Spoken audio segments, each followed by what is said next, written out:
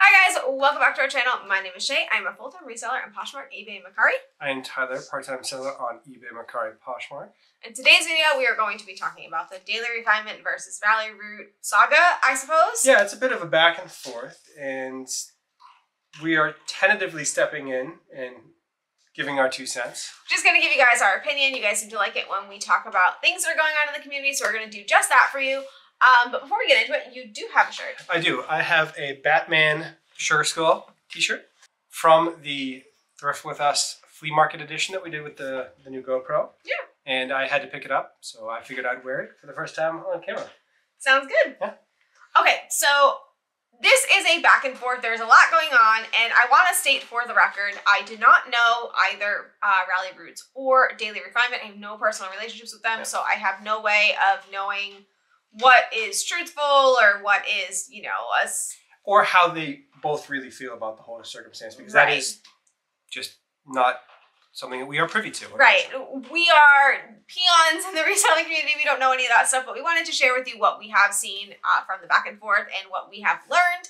So hopefully this is helpful for you guys that are trying to piece together what's going on. So to start with, what happened? So what happened is Daily Refinement released a video after having been permanently banned from eBay, explaining his side of things in as much detail as he probably felt was necessary for something that was still new to him and probably pretty upsetting and painful. Yeah, I imagine. Uh, so he just gave his thoughts and tried to give his side of things on the ban.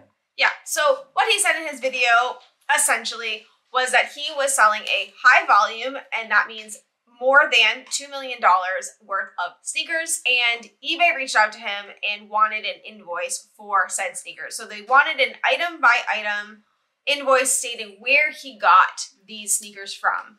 He stated that he got these from a friend and he wasn't able to provide an invoice for that. Uh, he did state in a later video that he was able to provide receipts. He did have a paper trail uh, for IRS purposes and things like that, showing that he got this from a friend, but this wasn't good enough for eBay. They wanted more than that. They wanted to see that this person had the legal authority to be selling this stuff, you know, authorized distributor or something of that nature, and he wasn't able to provide that. So he was banned for that reason.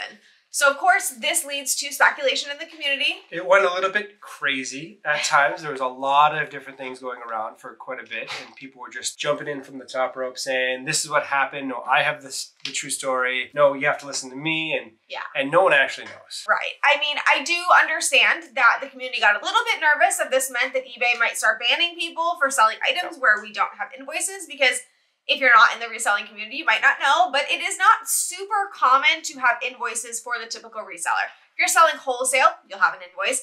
If you're selling straight from the store, retail arbitrage, things like that, you probably will have an invoice, things like that. But if you're buying from a thrift store, uh, the receipts basically say women's dresses blue.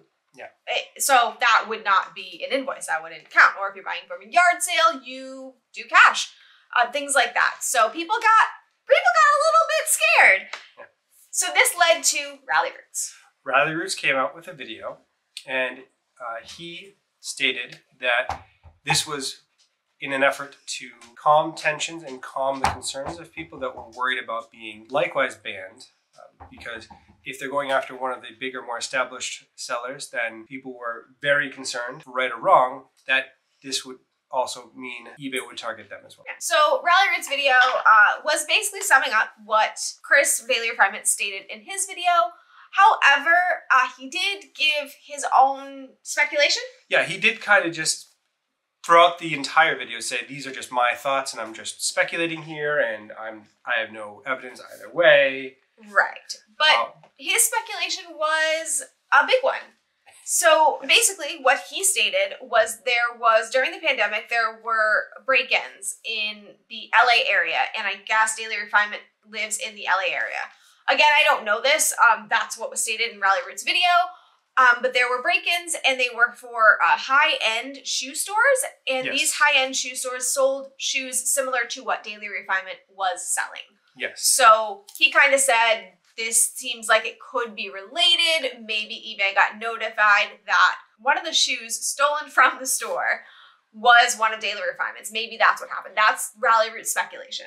Right. And there could have been either overlap or he unknowingly received the stolen item or something going on there, which there is no evidence to support that. Right. And Ralli Roots did say in his video he didn't think that if that were the case, that uh, Daily Refinement had any knowledge that they were stolen, that he wasn't obviously personally doing the stealing. Um, but none of that. He thought that it might have happened as like a, an accidental situation where he just ended up with something that came from those stores. That was the speculation. But that didn't go over so well. No. So Daily Refinement took that a little bit understandably personally. Not originally, though. In the comment section, which I'll throw up some of the comments from back and forth just really quick, and you guys can pause to read them. Daily Refinement seemed okay with the video, but I'm not sure if because um, Ralli Roots is quite large in the community and it spread like wildfire, that it may have impacted Daily Refinement on, you know, kind of thinking it over and seeing the backlash. I'm not sure. I can I can understand that taking a moment to go, wait, this is this is not the narrative of what happened, and It's not the narrative he wanted out there, which I can understand not wanting people to think you stole things or sold stolen things. so Daily Refinement did come out with a response video, He did. which was spicy. Woo! It was, I- if you like hot tea, that was hot. Definitely, if you are looking to indulge in some reseller drama, that is the video. Yeah. Uh, it basically said that I have never had any policy violations. I've never done anything that would be questionable that would result in a ban. I've never sold stolen items Or counterfeit or, or any of counterfeit or anything of that nature. Uh, I actually have the clean record when compared to Ralli Roots, essentially. Was- Yeah, he uh, he did call Ralli Roots out. I will say that he pointed out a video of Ralli Roots that we actually saw, like one of the first Ralli Roots Yeah. videos we ever saw. But Ralli Roots had obtained stolen beats, and he was very honest about this in his video. Ralli Roots, I mean. That he didn't know what happened, but he ended up selling them, and then un- unfortunately ended up selling them to an undercover cop. He didn't end up going to jail or anything like that, but he could have. That's something you can go to jail for. Um, and yeah, Daily Refinement went for that. He went for a few other things in the video too, but definitely looked like it was a um You come for me, I'm going to come for you right back, kind of deal. yeah. Um, but on top of that, he also mentioned, which he mentioned before, but he doubled down on the fact that this source of goods that he was not able to prove to eBay was a celebrity friend. Yes, and he actually in Daily Refinement's video he posted a photo with the face blurred out of presumably his celebrity friend, Yeah, so we can put that on the screen here. That's the blurred the blurred Photo. the blurred photo. Uh, I don't really know what he was thinking because Google image search is a thing. so we did find that picture, and we're going to post them side by side. Yeah, so you can see these are the same. They are the same photo. What I will say before I say the name of who this celebrity is, you can see the photo, so you probably already know, but if you don't, you don't. I will say this may not be his celebrity friend. What he could have done is just posted a picture of a celebrity with sneakers and just use that as his, you know, as a picture to put up while talking to keep the video interesting. But it also very well could absolutely be his celebrity friend, which And I think that's I think entirely possible. my opinion is it is. But I think that's a safe assumption that he used a photo of his friend and blurred out the photo. yeah, I don't know. So this is Chi McBride, right? That's that's what it is. Yep. Um, he I think is most well known for Hawaii Five O. Uh, he's in that. He's in House for a period of time. Uh, he's in a lot of things. And that article uh, links or that photo links back to an article about him being a sneakerhead. So yeah, he's this, definitely definitely he loves sneakers. So that part of it certainly fits. So, right. So that seems to be where he's getting the goods. So, one thing I want to talk about while we're talking about all of this is the shoes that Daily Refinement is selling. He stated in the video were samples, not for resale. So, that kind kind of leads to a big question. If they are samples and not for resale, was he allowed to sell them? Was that something he shouldn't be doing? Was that illegal? I think we all kind of wanted to know that and kind of questioned our own selves. Um, I personally sold a pair of Vince shoes that were labeled as sample, not for resale, and we can probably share a picture of those somewhere on the screen. I think we've also had a couple things uh, otherwise come in that had that uh, from time to time. But right. I think, well, well I know because we've looked it up that it is not illegal to resell those, uh, provided that you have not agreed to in writing and signed a contract stating that you would not resell them, because the onus is on the company to obtain your consent to prevent you from doing something. Yeah, so um, we looked at a few different Reddit threads, a few different articles, just to, to make sure because you, you never know in this world that you're. And we are not attorneys. We are not lawyers. no, I am not a lawyer. no, this is not legal advice. This is No. just this is what's on the interwebs.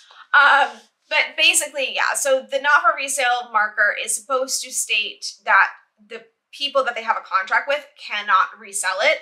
We, as consumers of the item that did not purchase it from a retailer or did not receive it from a retailer, is not part of that agreement. So we are free to do with it what we want because, as we've stated in other videos, first sale doctrine exists and we own it now. We can do as we please.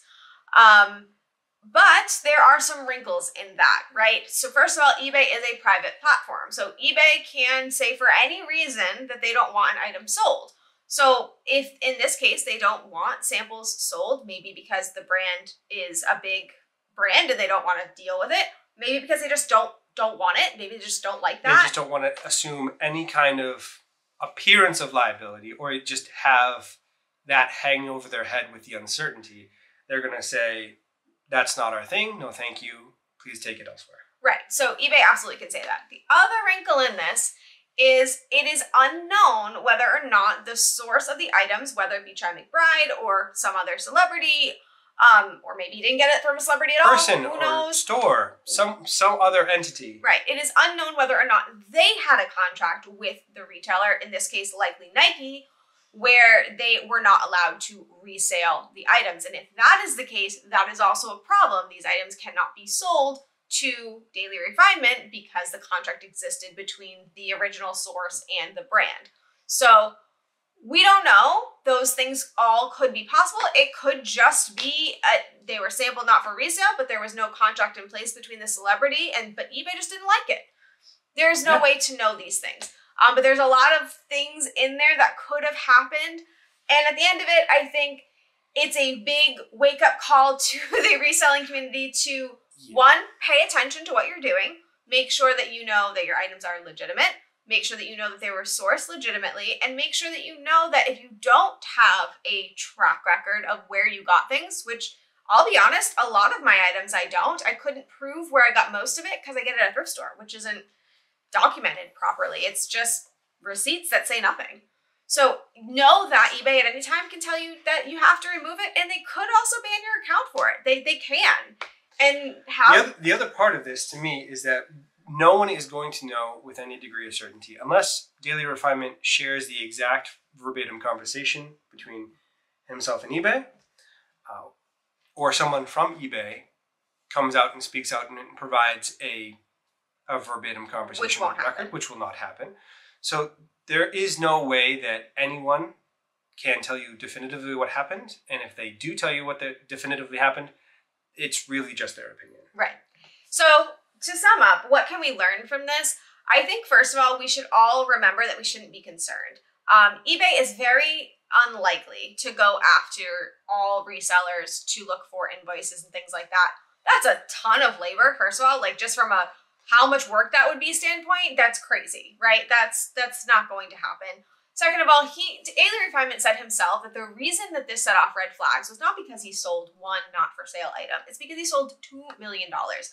Now, I don't know about you guys, but I don't even think I'm gonna see two million dollars in sales in 10 years of my reselling business. So I'm not concerned about that. Um, so unless you're selling really, really large volumes, I really don't think there's anything to worry about. I'm not a lawyer. I can't give you that kind of advice in that way. But as a reseller, I'm not going to be concerned about it because it's not something that happens.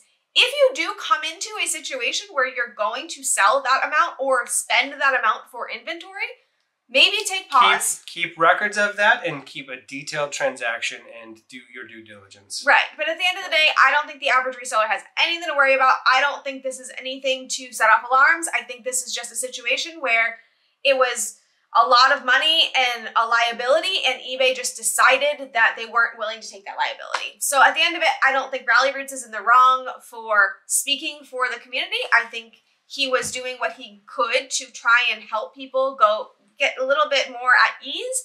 And I don't think Daily Refinement did anything terribly wrong. I think he just had something to happen that kind of stinks. I mean, my personal opinion is that they are both kind of wrong for different things. Okay. So I I don't think that Daily Refinement was wrong in doing the selling. I think that there probably is an instance of eBay not wanting to accept the liability, which is, he can certainly understand. And he wants to protect his friend and his source of the shoes, which Right? We I could mean, be- we all want to protect our we sources. could be wildly wrong on whom that person is. But I don't necessarily know that he handled it in the appropriate way.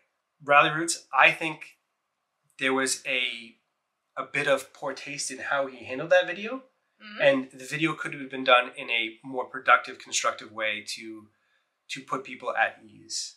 And what do you mean by that? Well, so it was there was no evidence that there was any wrongdoing or even the even the appearance of wrongdoing where there was stolen goods don't, doesn't have to be mentioned at all. And he could have said, "You don't have to worry. Your store is not going to be affected by this. This is a one-off kind of fluke circumstance," without getting into the specifics of wild speculation. Uh, and that just kind of rubbed me a little bit the wrong way That's fair. on on top of the the self promotion at the start of it, which there's nothing wrong with self promotion, but to tie it to a controversial topic, I think is a little bit uh, self serving and short sighted. That's fair. So, I mean, as you can see, we have a little bit different feelings on the topic just here in our own home. So, I'm, I'm sure you guys have plenty of different thoughts on the topic. So, definitely use the comment section as a way to talk with each other. Please keep it civil. And also, please don't give hate either way to either creator. I, I don't. I don't condone that kind of stuff and I don't I don't want any of that. And please don't put wild theories in the comments that have no basis in fact you can you know make your opinions and you if you have things you want to speculate that have some kind of fact behind it that's okay but just don't go too crazy we don't we don't want a conspiracy theory this it is somebody's business and someone's life so i want to just keep that in mind as we discuss this We left the tinfoil hats in one of our last videos for the yeah you guys can go find those they're there we just don't want to bring that into somebody's life that's i get a little bit protective on that so that that's everything we have. I think that this this situation has gotten a little bit blown up, a little bit crazy. It's definitely entertaining, but remember that this is people's Yeah, lives it's- and people's businesses, and we should keep that in check when we are enjoying the entertainment. Remember that other people are not enjoying it. I think that's fair. So that is everything. Thank you guys so much for watching. We'll be back really soon with a new video. And thank you again for watching.